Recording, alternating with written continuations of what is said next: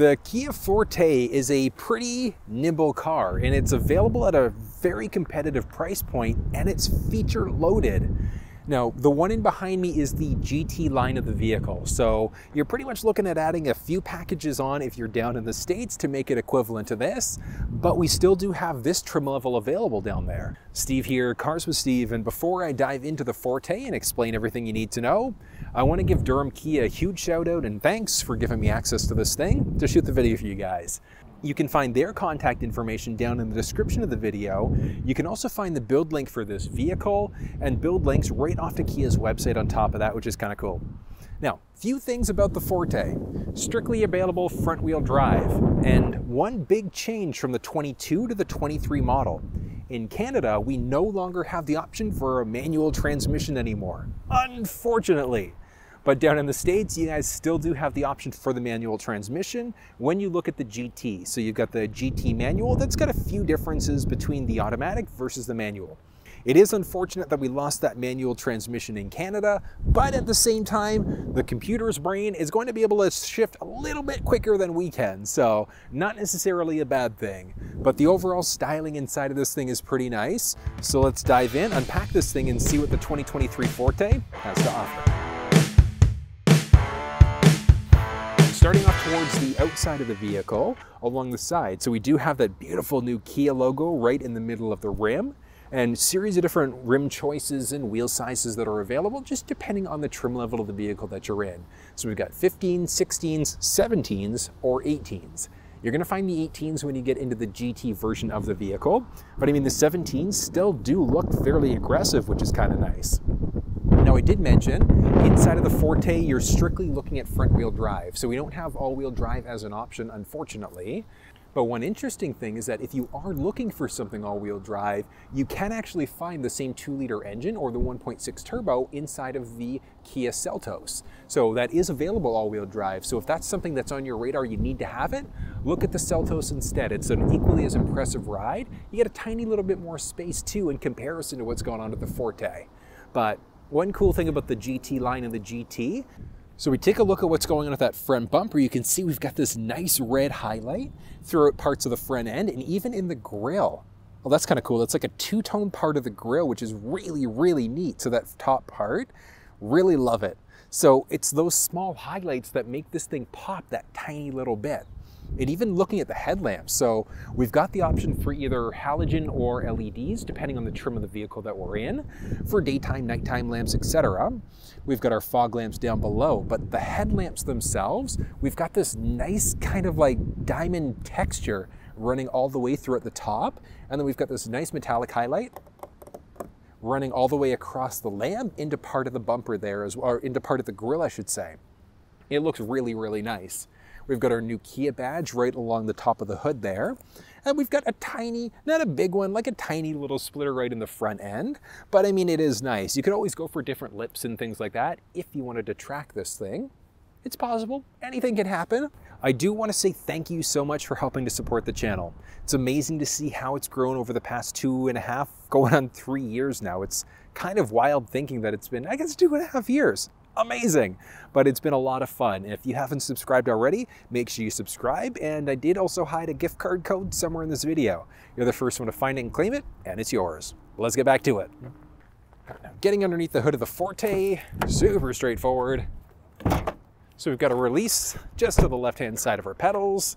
And then, so just above the Kia badge there, we're just gonna slide our hand in and more towards the A, little release, off to the side. And this is nice. Now, the Forte does technically have two different engine options that are available. We've got this as an option, and it's the 2-liter naturally aspirated, so non-turbocharged engine. But power-wise, this 2-liter engine can push out 147 horsepower and 132 pound-feet of torque, which is a respectable amount for a vehicle this size.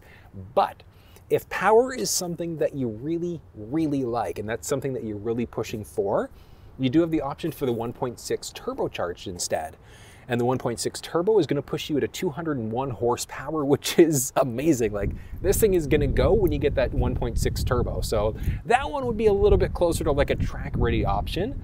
and you're gonna find it inside of the GT trim level of the vehicle. So not the GT line like this is, the GT, which is the highest available trim level. But it's gonna be a matter of preference. Do you really want that extra power or do you just want something to get you A to B with a good fuel economy all at the same time? Because if it is, this two liter has you covered. It's funny, I actually took a vehicle out to the East Coast recently, and that thing has this two liter engine in it. And the fuel economy on it was pretty good, but 5,000 kilometers in, what was it, 10 days? It was wild. If you want to see that video, check down in the description below, but it was a heck of a lot of fun. But Really nice taking a peek under the hood here. We can easily top up fluids, check change our oil, easy access to the battery all at the same time. And one key thing, I've been stressing it in a few of my videos lately, make sure you maintain your vehicle. Like it actually kind of blows my mind how many people skip oil changes, they skip routine maintenance, and they wonder why vehicles are giving them problems. It's because you're not maintaining it. That's all you have to make sure you do is maintain your vehicle. So take it in for regularly scheduled maintenance for a few different reasons. You want to make sure that you're maintaining your manufacturer's warranty, but it's also peace of mind that you've got a vehicle that's going to last because you're maintaining it right. So at the end of the day, I do recommend just make sure you're at least doing your oil changes, but you do want to make sure you're taking it in for regularly scheduled maintenance all at the same time.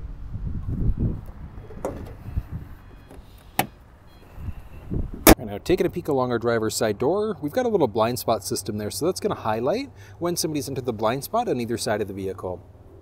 Moving backwards a tiny little bit, we do have our little intelligent access button, which is useful. So this one here, we can press it if we want to either be able to lock or unlock the doors, as long as we've got the key fob on us. But hopping inside, really nice look, but starting off on the door here, we've got this like nice stitching, look at this. Follows all the way throughout the door. Really, really nice look. Different as we get through the steering wheel. And then we've got that nice stitching that follows all the way throughout the driver's seat. Now this is the GT line of the vehicle, but we do have our GT line badge. Would look slightly different when in the regular GT and then some of the other trims of the vehicle. But back out to the side. So we do have this nice glossy highlight that follows all the way throughout the door there. And along the door, a series of different buttons that are available. So we can adjust what's going on with our side view mirrors, unlock and lock, window up and down, kill off power to those rear windows, little storage cubby, storage cubby down there as well. Moving inside, so along the driver's seat there, you can see we've got a series of different buttons, so we can bring the seat forwards, backwards, up and down. We can adjust our backrest there very simply. We've also got two-way lumbar support. So the controls that you see here are going to be dependent on which Forte model you've got. This is the GT line, so we do have different options to get these, these power adjusting seats inside of the majority of the trim levels of the vehicle as we hop over. Got a series of different buttons here, so we can either increase or decrease what's going on with the brightness of the cluster screen. We can turn our blind spot system on off, turn our traction control system on or off. We've got a manual telescoping steering wheel, and then down below we also do have the release if we ever need to get underneath the hood two pedals here because we're in the automatic. And then obviously if you are in the manual, you'd have the clutch just off to the side there. But we've got nice pedals, nice metallic look all the way throughout there, which is really nice. All right. this is pretty nice. So this is the GT line version of the vehicle. So the seats themselves are actually pretty dang comfortable. Hello. We've got a little sunroof up overhead too, which is kind of nice. Not a full panoramic roof like we'll find in some other Kia vehicles, but it still is nice. We've got the roof available there as an option. I love it. Really cool. But we'll get to that one in a second. So these seats are actually fairly comfortable. Okay, so hold on. So I'm six feet tall, all right? And with the seat, like the seat goes so far back. So with the seat as far back as it'll go, with it as far down as it'll go, I've got three inches and change worth of headspace there. So I mean, like if you're 6'3", 6'4", 6'5", you'll probably comfortably be able to sit inside of this thing. There is a ton of space here, which is crazy. Like with me, I would normally have it set up kind of like this. Oh, back a bit. Yeah, so six feet tall, set up like this. I've still got what because this one has the sunroof like like an inch inch and a half roughly of headspace there so tons of space which is fantastic But we've got a series of different types of seats that are available inside of the Forte cloth seats, synthetic seats, leather seats with inserts, etc., depending on which trim level of the vehicle that you're in. But the seat is really comfortable. And like having the option for heated ventilating the side of this thing, it is wild. So like this is the GT line in Canada, and like the way it's specked out, $29,000 plus tax. Like that is crazy for the technology that you get inside of this thing. I would personally probably go for the GT instead because you get that beefier engine. But I mean, this thing is fairly loaded and featured packed as is. I love all of the different technology, the options that you're going to find inside of this. But all of those nice highlights that are along the door. One interesting thing, I didn't notice because of how bright the light was when I was shooting the first part of the door, but we've got this, I don't know if it's actual carbon fiber, it might just be a wrap, but we've got this nice look around the door. So that glossy highlight there, it's really sharp. I like it. But we've got our nice vents, we've got this nice metallic highlight following throughout the dash there as well. It's really sharp.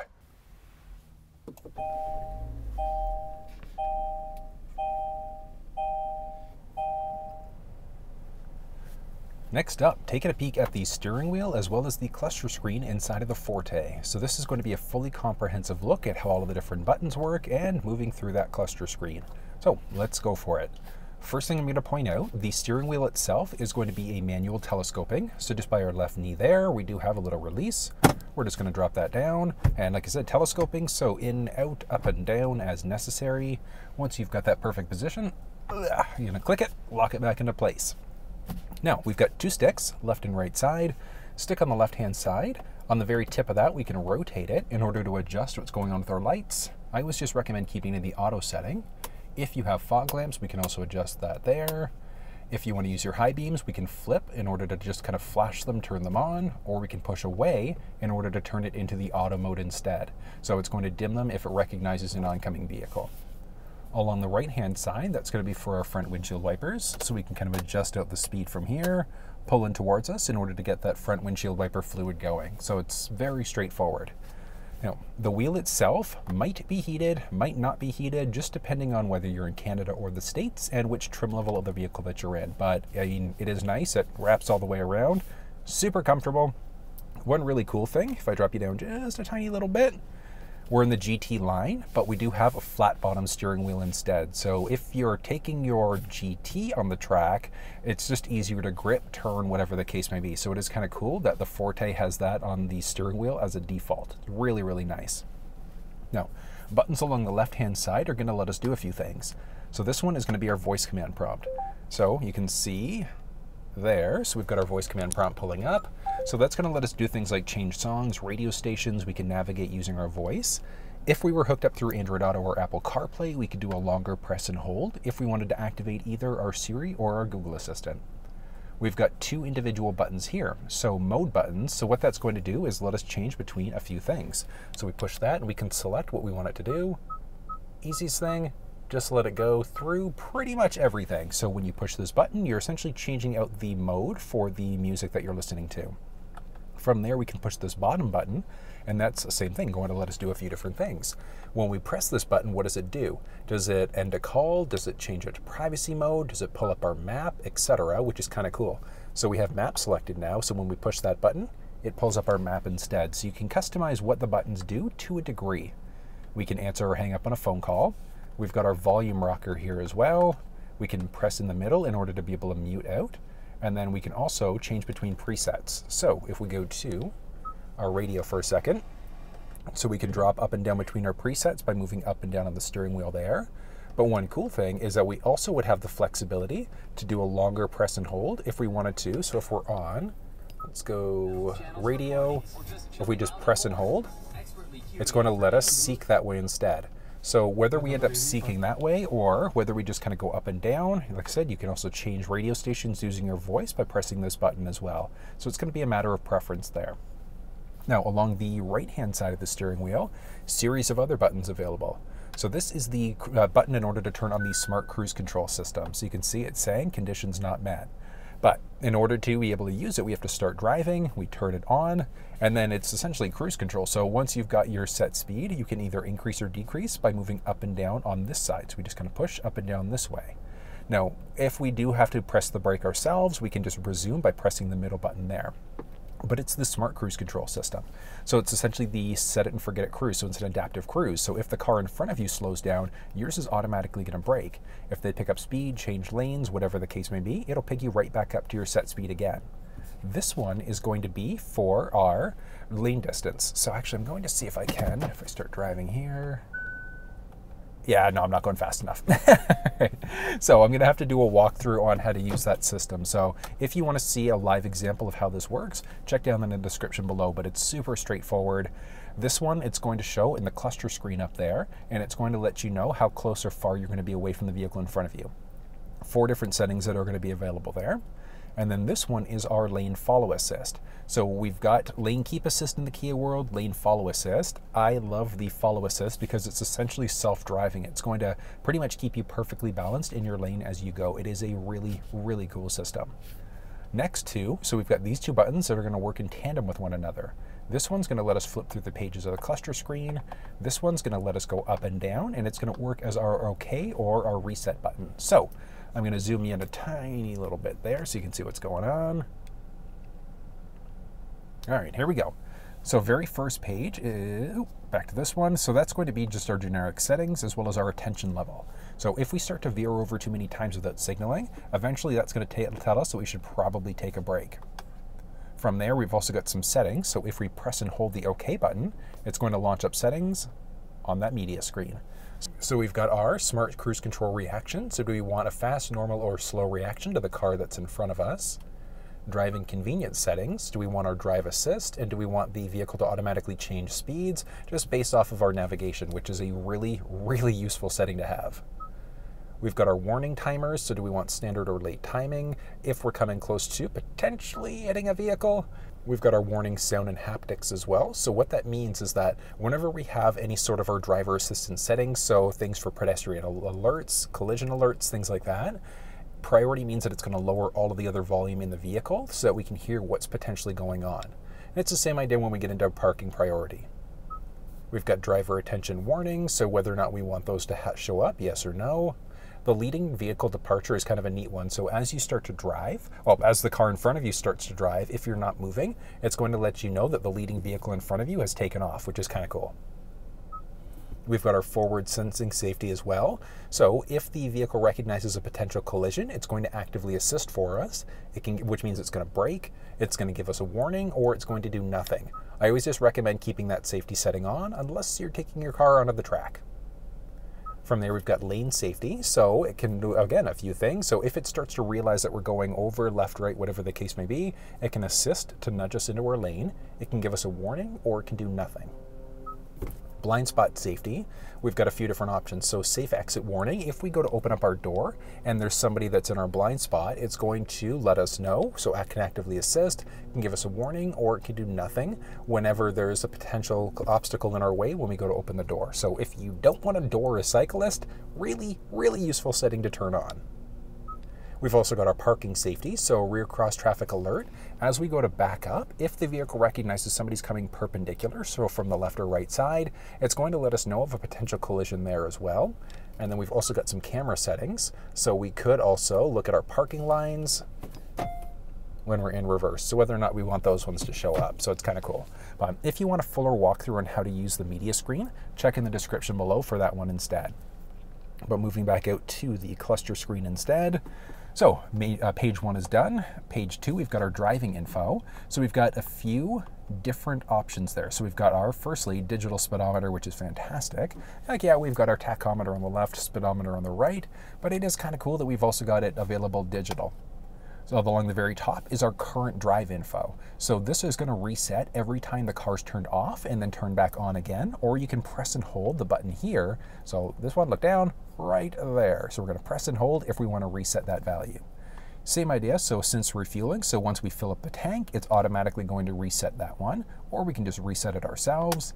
And then we've also got our total accumulated info. So for the life of the vehicle, however long we've been driving for, until we do a reset there. So you've got a few different options that are available. Next out, we've got our compass. And one interesting thing, so if we look at our map for a second, so we're gonna go map, let's actually find a point of interest icon. Let's look for Tim Hortons. Nice and Canadian of me. Okay, we're going to select the first one, set as destination, close, start guidance. The route guidance will start now. Look at that. Right through the cluster screen. So it's not a full map, but at the same time, it still is really useful that we've got that popping up in that middle screen. It gives us two different options available. So we've got 2.1 kilometers to get to our destination with a little arrow telling us where to go. And we've also got our estimated time of arrival, which is kind of cool. From there, cancel the route out, and it just defaults back to our compass instead. So it is kind of neat that we've got that setting.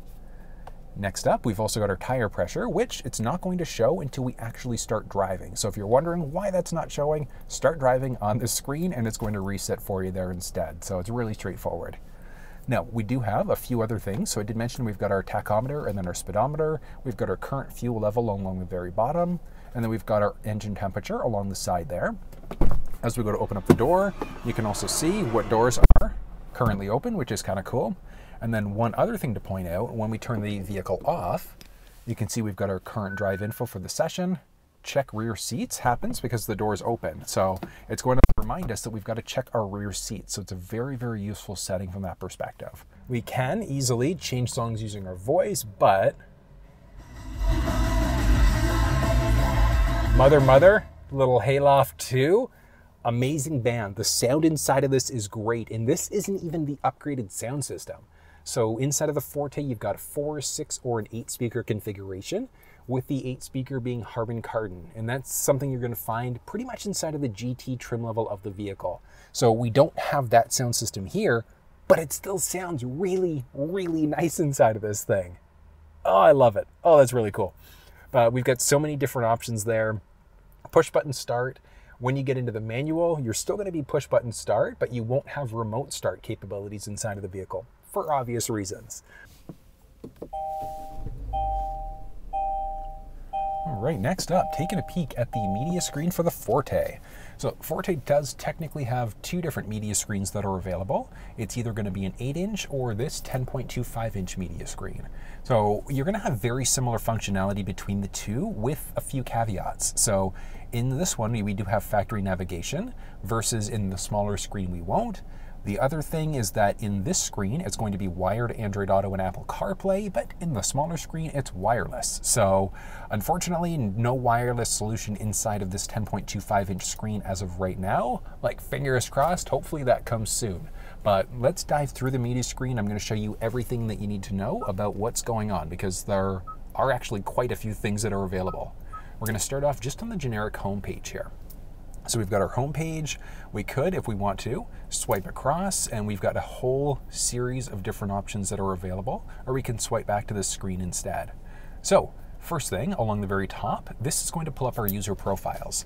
Very useful if you've got multiple people driving the vehicle, so we can set up different drivers very easily. We can change the name profile. We can link our Kia Connect on our cell phone, or we can also delete the profile if we want to. Moving back out, we've got our home icon, which brings us back home.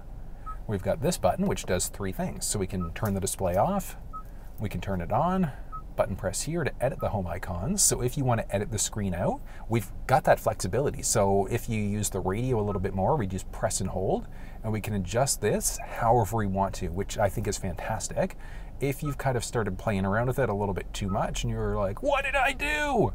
We just hit reset, brings this whole screen back to the factory default instead, like just the layout itself, but it is really neat that we've got the flexibility to be able to adjust these things.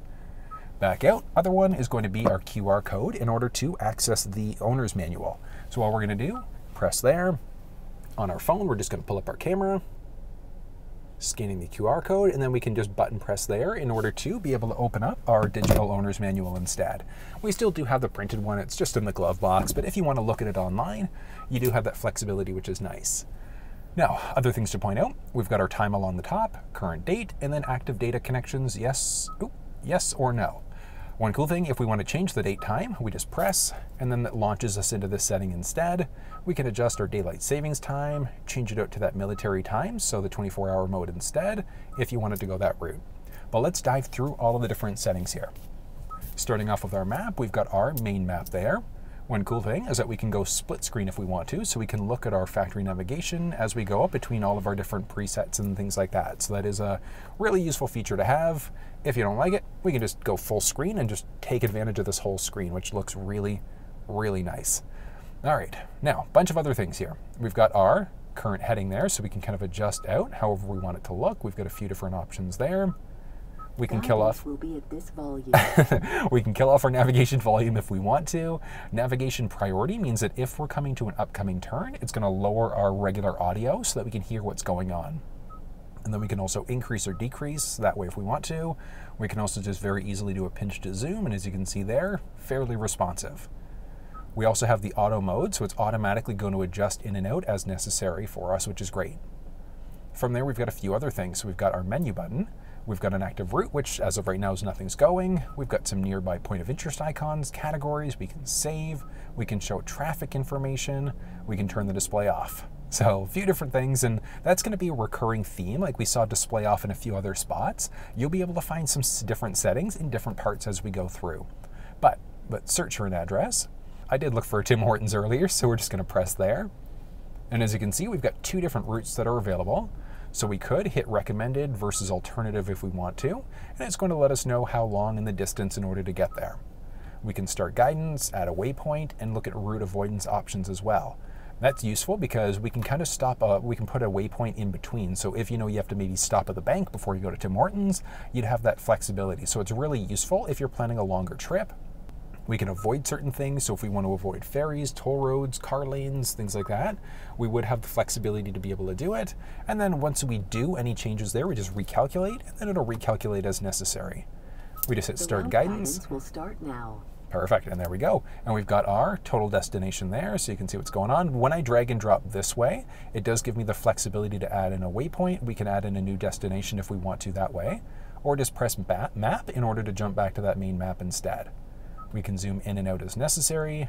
If we go there now, we've got some other options. So along the very top, we've got some reroute options, or we've got some route options again. So we can see those two routes that we've got. We can just restart. will start now. We can press menu again in order to go to route, nearby interest icons, things like that. We can cancel the route, and then we can also press there in order to either get our arrival time or our remaining time. So what time are we going to get there, which is in two minutes, or we can look at that route instead. So we've got a few different ways that we can go about it, or just cancel route. And as you can see, route's canceled, and it's that simple. Now, we do have the flexibility, so either through this main screen to press either map or navigation. We can also press either map or navigation along the very bottom there as well, which brings us to the same screens. So let's move into our navigation next. We can search for addresses, we can look at point of interest icons, whether that's gas stations, parking, whatever the case may be. We do have the flexibility of pressing the voice command prompt in order to be able to look at routes and things like that. So if we look at Here active commands, commands. we can say screen, find addresses, go home, previous destinations, and things like that. So it's a very useful setting there. Rather than having to fiddle with the screen, we can just use our voice instead. Next up, previous destinations. Where have we gone to previously? What places have we visited frequently? So we've got some different options there. We can look at Kia dealerships, cancel the route, look at overviews, route options, and things like that, or we can look at live traffic. We do have the flexibility of plugging in different addresses. So work address, home address, really useful because we could then press the voice command prompt and say navigate home, navigate to work, whatever the case may be, and it's automatically going to pull out that address for us. So it's a really, really useful setting. So if you go to multiple destinations all the time, just recommend setting that one up because it's a huge time saver, which is amazing moving back home, we've got our phone now. And phone, very straightforward. So we're actually going to start off on the iPhone side of things. So showing you how to set one of these things up. We're just going to hit phone. Turn Bluetooth on from your device in order to search. Okay. On your device, select the name that matches vehicle name on the screen. we're looking for Kia. We can change that name. I'll show you how it's done later. But you can see there, we've got the passcode on that's right. Okay, do we want to allow contacts and favorites to sync up? I'm going to hit don't allow for now, but you can see there we've got that. We've got my dial pad, we've got my phone name, we've got what's currently going on with our battery as well as. unsuccessful. Yeah. So the reason why I said that is because I said you like no. to try again? No. For So we do have the flexibility if we want to, we can. Uh, Let's say if you accidentally hit no, but you wanted to download your contacts, you could delete your phone, add it again, hit yes in order to be able to add it. So it's really straightforward. And same idea, we can go split screen if we wanted to based off of our phone screen there. But I did mention, so we've got our current signal strength and our battery there on top of that. So really straightforward. If we go back to setup now, we've got a few other options. So we've got all of our navigation settings, but the big one is device connections. So, device connections, we've got the iPhone that I just set up. If you wanted to, you could have it so that it's strictly for music, or you can have it for your phone. So all you do is select one or the other. So we can deselect that, and all of a sudden the phone is just going to be used for music instead. We can add in more devices, or we can delete that way if we want. Bluetooth prompts, do we want to play prompts, or do we want to mute them as they come through? We've got our Bluetooth system info, and this is where we go to update our car name.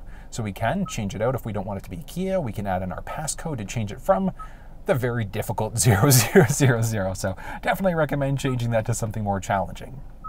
Projection settings are going to be for Android Auto and Apple CarPlay. I'm curious if they fixed the Android Auto bug because even if we don't have split screen selected, Android Auto always defaulted to split screen. I'm going to show you, I'm going to come back after I set up CarPlay to show you what this looks like. But that's how you set up a phone, an iPhone specifically inside of the Forte. But let's actually go through and I'm going to show you how you can set up Apple CarPlay inside of this thing. So all we're going to do, take our USB cable, and there are about a few different USB ports down below. We're just going to plug it into the middle one. Opposite end of the cable, we're just plugging ourselves in.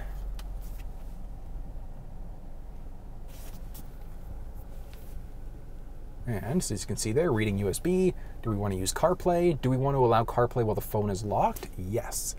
So a few seconds in, and we are connected. Boom, and look at that, all across this beautiful media screen. Looks really, really sharp. We've got our home screen there. We've got whatever podcast we're listening to. We can search the phone. We can jump into whatever map application was open last. So if we want to, we can jump into Apple Maps, and that brings our default there to Apple Maps instead. So if we press home, we can scroll across, go into Waze, go into Google Maps, press home there, and it's going to default into our Google Maps instead. So you've got a few different options that are available. I did mention we can do a long press and hold on the steering wheel if we wanted to activate our Siri Assistant as well, which is fantastic, or we can just do a press and hold on our phone, which also launches it up through the media screen.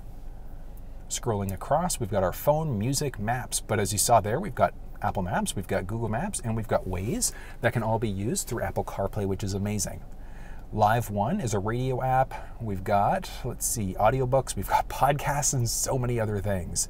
But these things are all really straightforward to go through, listen to. We can look at your library back home. We can look at our calendar and things like that. So there are a ton of options that are available looking at CarPlay. One cool thing is that we can jump into our general settings. If we go to CarPlay, we can then select the vehicle. We can disallow CarPlay. So if we want to, we can turn it off.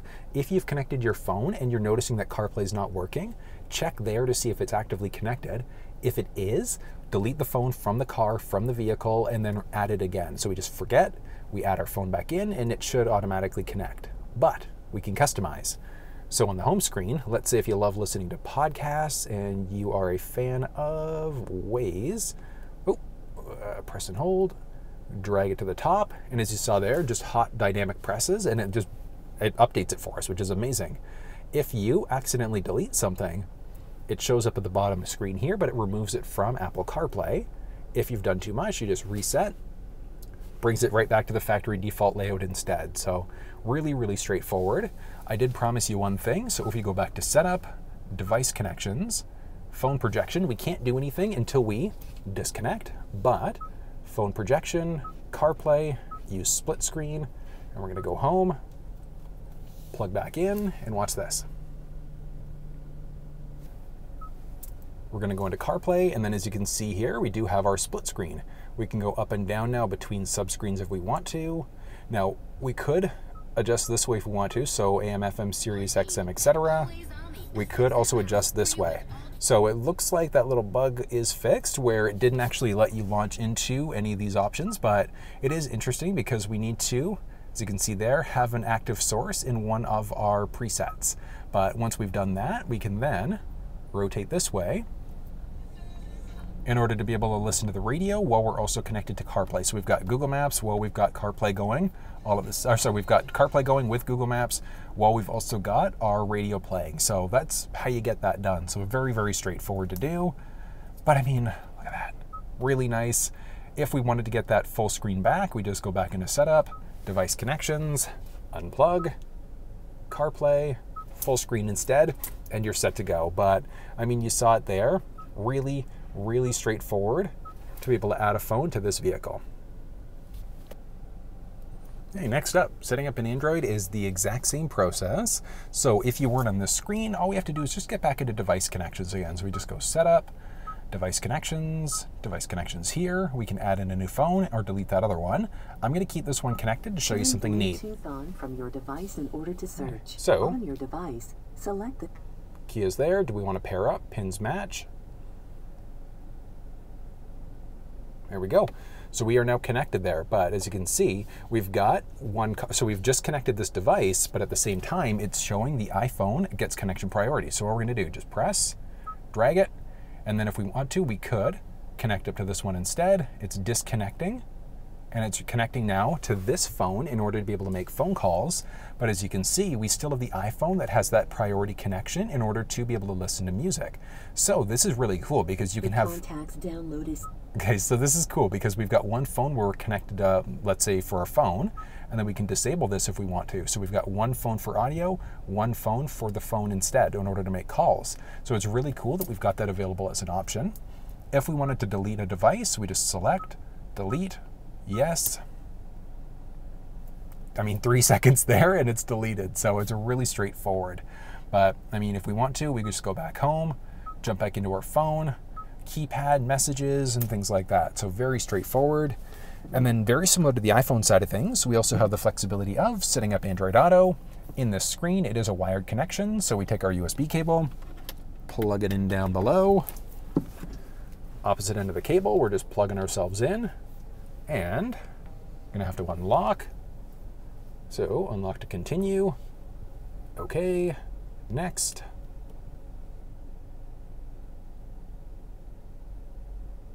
All right, it's just taking its sweet time connecting. There we go.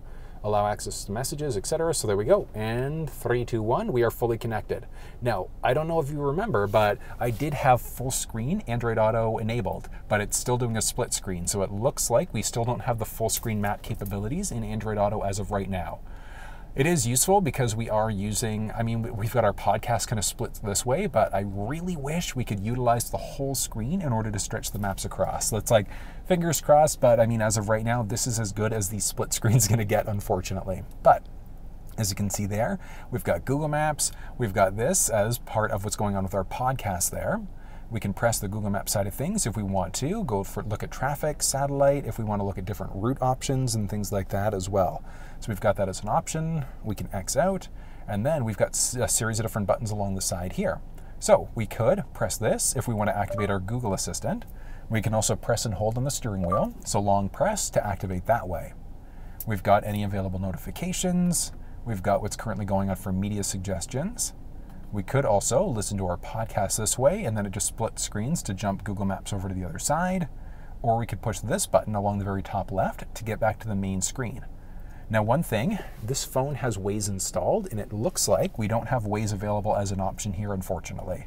So I'm like, fingers crossed, hopefully that also gets fixed here, but we've at least got Google Maps. And then, depending on the version of the vehicle you're in, we also do have the fle- flexibility of looking at factory navigation instead. So, I mean, we've got quite a few different options available there. But I mean, it is nice. We can easily adjust what's going on with our podcast, look at settings, go to our maps. We can easily make phone calls and things like that through that screen. So, whether you decide to use Android Auto, Apple CarPlay, or not, matter of preference. I personally love using Google Maps and Waze, so that would typically be my go to, anyways. But that's how we set up Android Auto, Apple CarPlay inside the vehicle. All right, so we've got our phone projection, but if we go into oh, our setup, device connections, phone projection. I did tell you, so it did have full, uh, full screen enabled, but for whatever reason, it's just not letting us go true full screen. So we're very close to it. Unfortunately, not there as of yet, but I mean, as you saw there, it's easy enough to connect, setting up our phones and things like that. We can go back home. We can look at our phone projection, which that's the Android Auto, Auto Apple CarPlay. It's grayed out because there's nothing connected. We can jump into our setup, device connections, delete that, delete, yes, and three, two, one, we're deleted. So it's that easy setting up Android Auto, Apple CarPlay, and connecting a phone inside of the Forte. All right, from here, let's jump back to the home screen and a ton of other options. So we've already seen our phone and phone projection. We do have voice memos, so if you want to, you can record a memo right onto the car. And we've got our climate control settings, so we can see what our current settings are. We don't have the flexibility of adjusting anything directly through the screen, unfortunately, but as we adjust, so we go through one way versus the other, it does give us that flexibility. We can sync up back to our driver's side. We can also see what's going on as we adjust our fan speed, whether we have AC going, yes, no, etc. So we've at least got a few options there. We can recirculate when we use our windshield wiper fluid. We can auto dehumidify and then also have it auto defog for us too, which is kind of nice.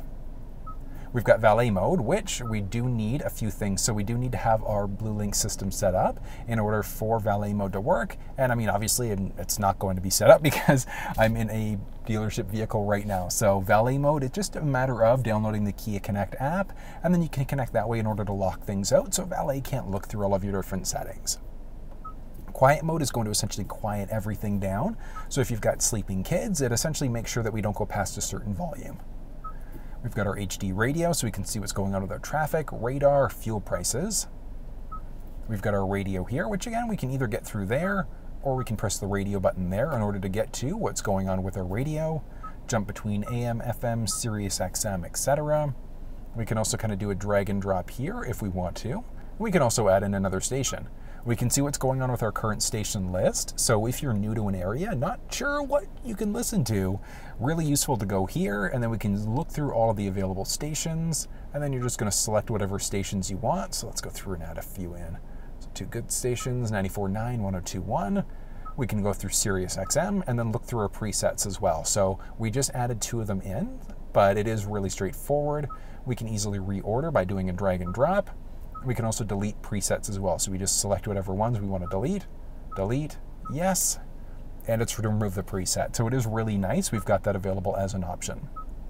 Moving back, we do have a ton of other things to look at as well. So if we press the button along the top, we can scan Sirius XM channels, we can delete presets, reorder, and things like that as well. We can jump between different songs that way. We could also enter a channel this way. So if we wanted to listen to a channel instead, we could go that route. So tons of different options that are available, but it is so straightforward to use all at the same time there. Next up, our media. So we've got our FM, AM, Sirius XM, Sounds of Nature. We've got Bluetooth audio. So if we were hooked up to either you know an Android, iPhone, a USB stick, things like that, we would have the flexibility of jumping between all of these other sources. It is nice that we've got so many options available here, though moving into our setup next, ton of other options. We've got our vehicle settings, driver assistance. It is neat. So it tells us essentially everything that the car can do. So we've got, oh, that's actually really cool.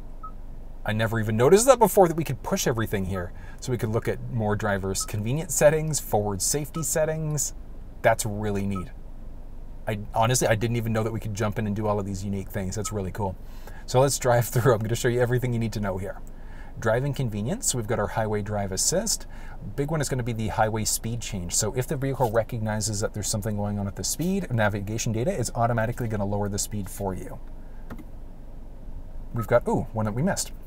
We've got our smart cruise control, what's going on there. So essentially looking at the leading car in front of us, do we want it to have a fast, normal, or a slower reaction?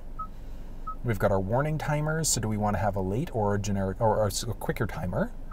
Are warning and haptic sounds. So really useful to have this setting turned on unless you're going onto the track, but priorities for safety for parking. So what's going to happen is if we've got our parking assist so view, so if we're backing up and then there's a potential collision behind us, it's going to essentially blast the sound to let us know of a potential collision. Priority means that it's going to lower our regular audio in order to be able to let us know of something going on behind us. Driver attention warning.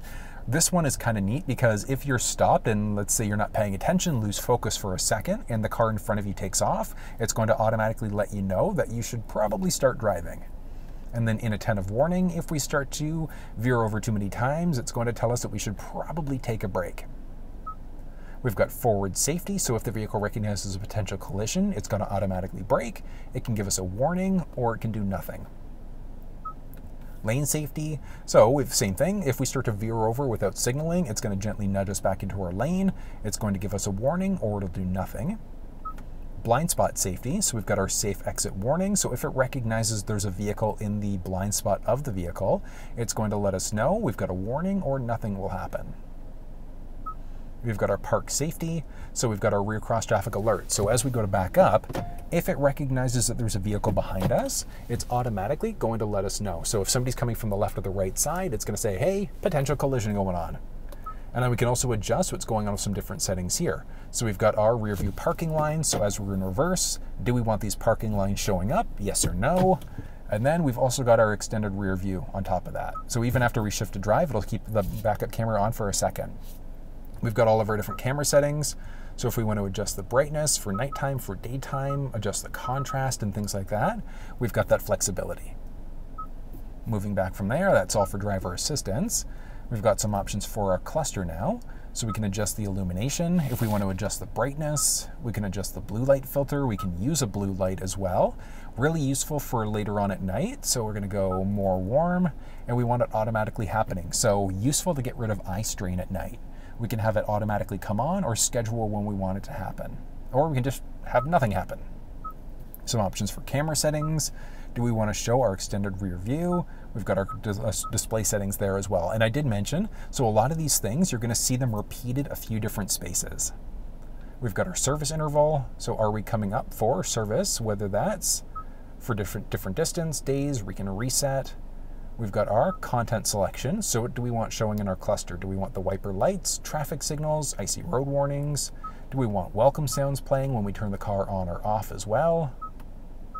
Moving back, we've also got climate settings, so we can recirculate, auto ventilate, and again, we saw that we can have we can schedule the ventilation, and then for our defog, defrost, etc. Different options for lights, so our turn signal. So when we go to turn, you can hear that it's three there. We can have it at one flash, three flashes, five, or seven. We can have a welcome light showing on the outside there as we approach at night we can have our headlight delay. So as we go to lock the vehicle, do we want our headlights to stay on? And then we've got our high beam assist. So really useful because if the vehicle recognizes that there's somebody oncoming, it's going to automatically dim the high beams for you so you're not blinding people in front of you. So really, really useful setting there. Some different options for the door. Do we want to have the vehicle lock the doors when we go to shift or when we start driving away? do we want to have them unlock when we park the vehicle, when we turn the vehicle off, or do we never just want the doors to automatically unlock? To press unlock on the door, our smart trunk is really useful. So with smart trunk, if we've got our key fob on us, we walk away for a few seconds, the, the trunk is automatically going to open. Let's hop outside and I'll show you how that process works. Now, once we do have the setting enabled in that media screen, all we have to do is make sure the vehicle's locked and it has to be locked for at least 10 to 15 seconds or so and you need to be about 10 to 15 meters away. So vehicle's locked, I'm just gonna go for a quick walk.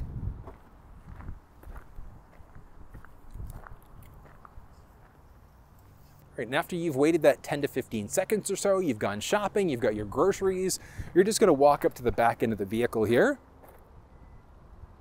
You hear beeping.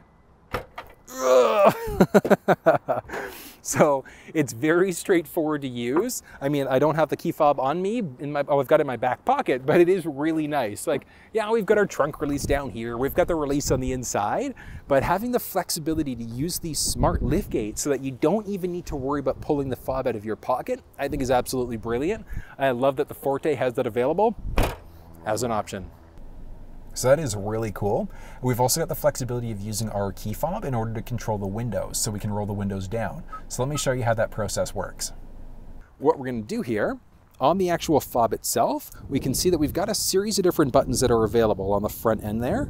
So let me just kind of focus you in. We've got our lock button, unlock button, etc. We're just going to press the unlock button twice, but on the second button press, we're going to hold. Now, one thing, if we release the unlock button, it's going to stop it. So watch what happens here. We're going to go one, two, and hold. We can release, it stops. We press again,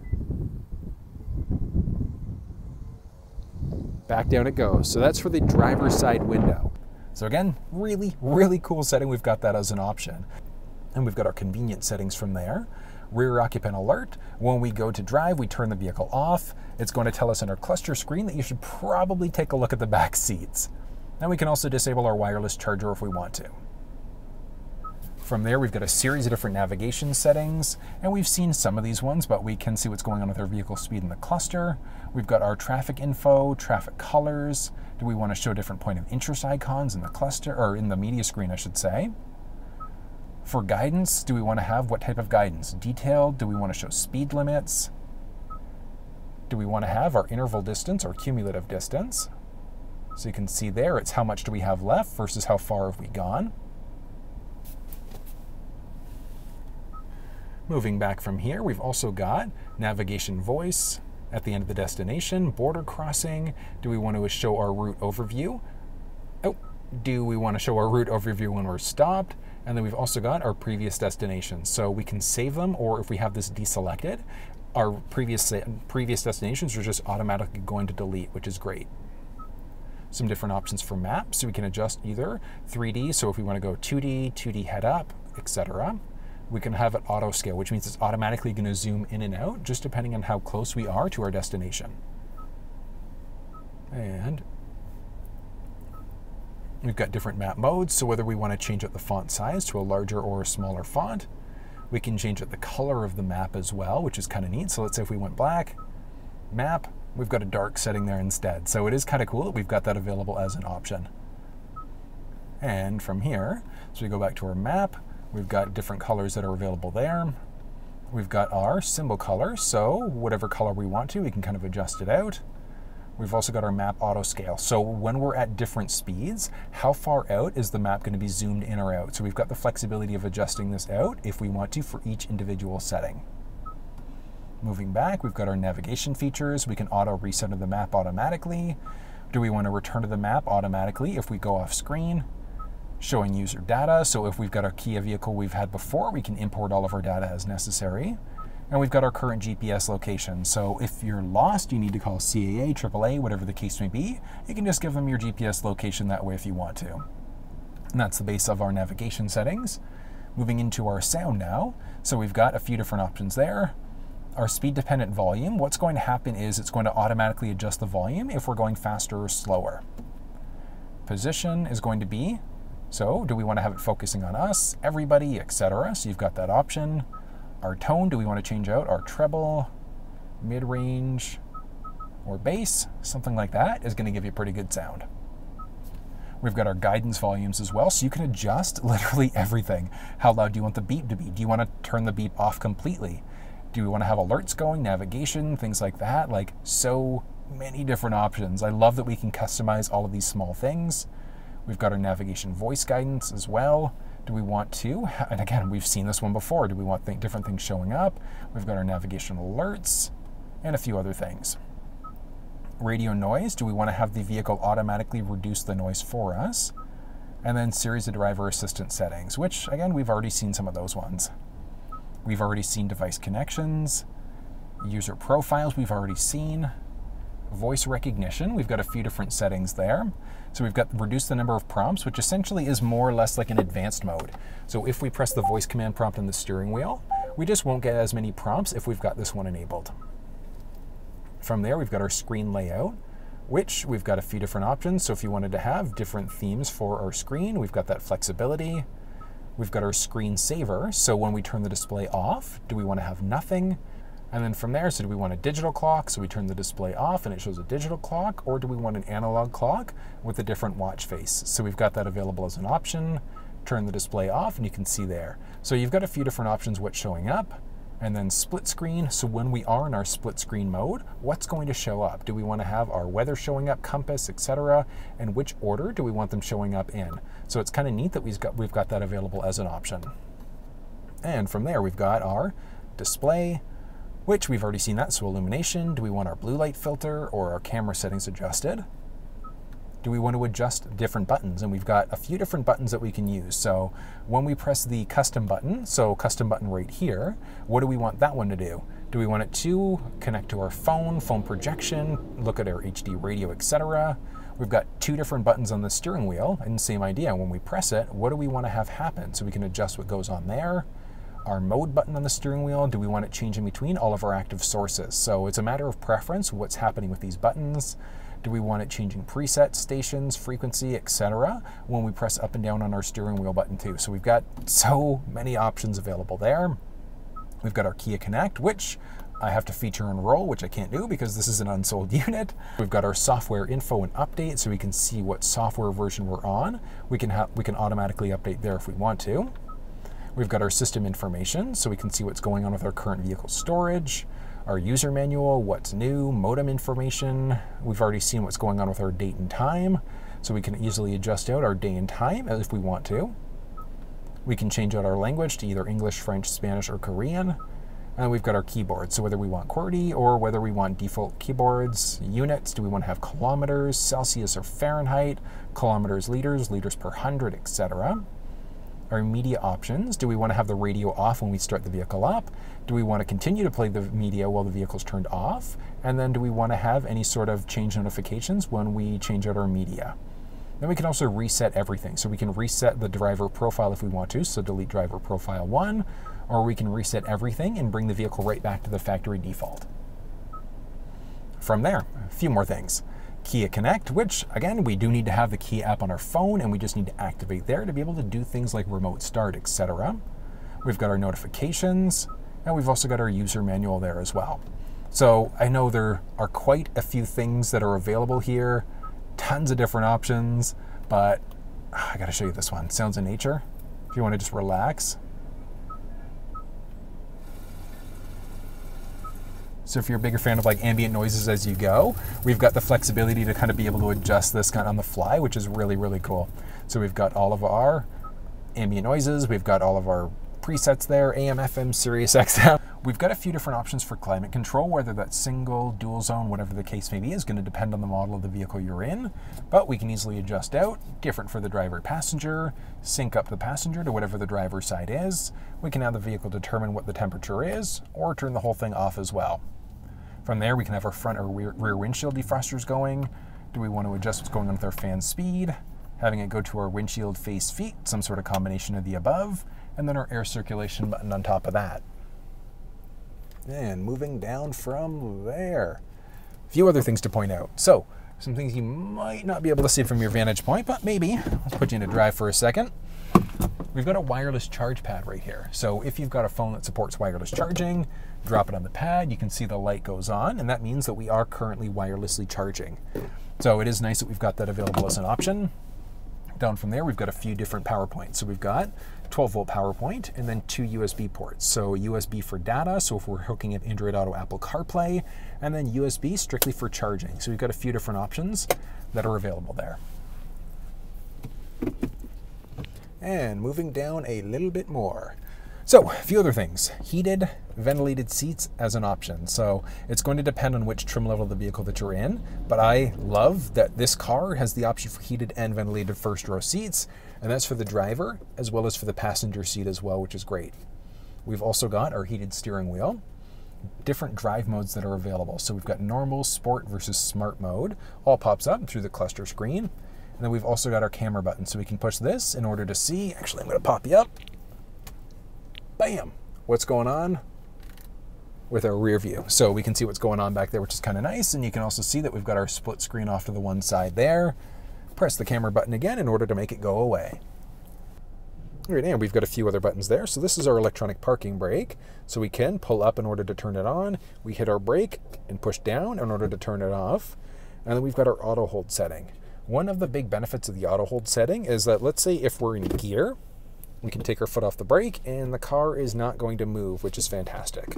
So really, really good safety setting. Shifter is actually really nice. It grips really nicely in the hand. We've got park reverse neutral drive into a sport mode. One cool thing, we can just drop down to drive, smack it over in order to go into our manual mode instead. So we can adjust gears out this way if we wanted to, rather than just letting the vehicle determine what gear we're in. So definitely a nice thing. And then we also do have a little armrest, which has a decent amount of space to it. I'm about wrist deep there, so you can fit a decent amount of space in there. Moving up overhead, we've only got the option for a manual dimming rear view mirror. Still nice that that's available as an option though. Our tow mode, SOS mode. We've got our sunglasses holder, our cabin lights. We've also got, I pointed it out earlier. Uh, oh, of course, I gotta turn the car on. Dart. we also do have a nice sunroof there. So single button press. Oh, that is bright. Overexposed and a half right now. Ah, it's so bright. There we go. Oh, that's better. that was crazy bright. But it is nice that we've got that sunroof there available as an option. We can fully open it up if we want to. We can also just vent this thing out if we want to create a nice cross breeze. From there, we've got a visor with a vanity mirror built in. We've got a light over top, little business card holder, and this thing's going to extend out to block all of the sun, which is fantastic. But overall features, styling wise, this is really nice, especially compared to some older vehicles. And I got to see what's going on with that second row space. So let's see what's going on back there.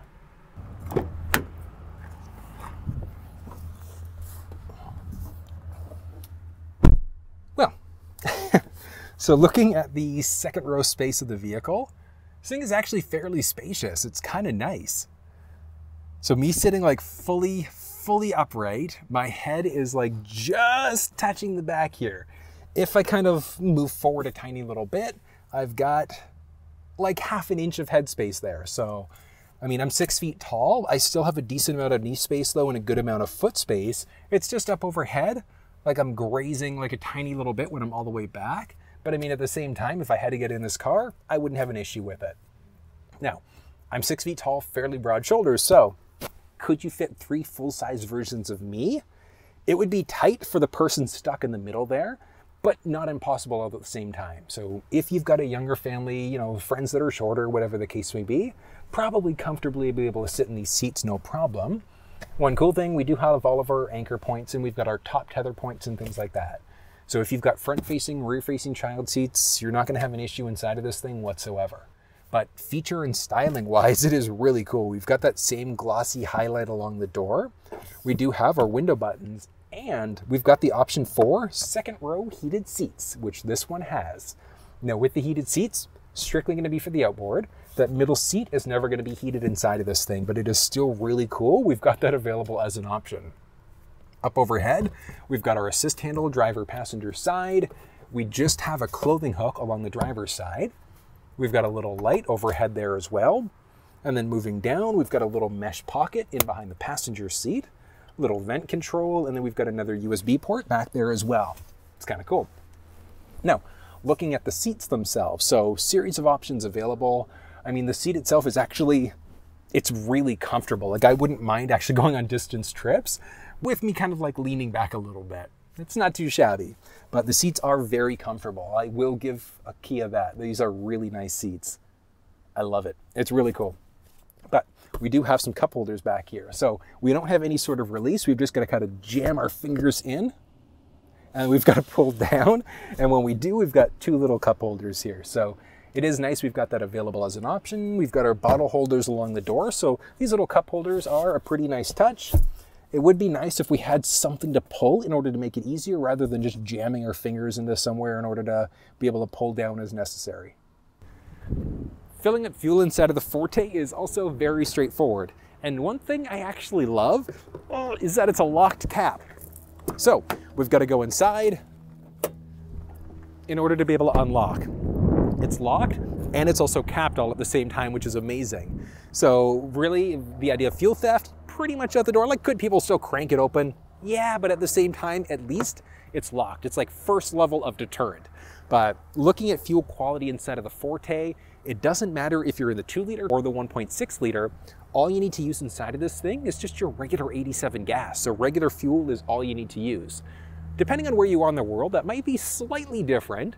But as long as you're using that 87, because I know in Europe you're like 95 is like your minimum. So as long as you're hitting that 87 unleaded, you're good to go. But if you want to use a premium, you could. It's just not necessary inside of this thing.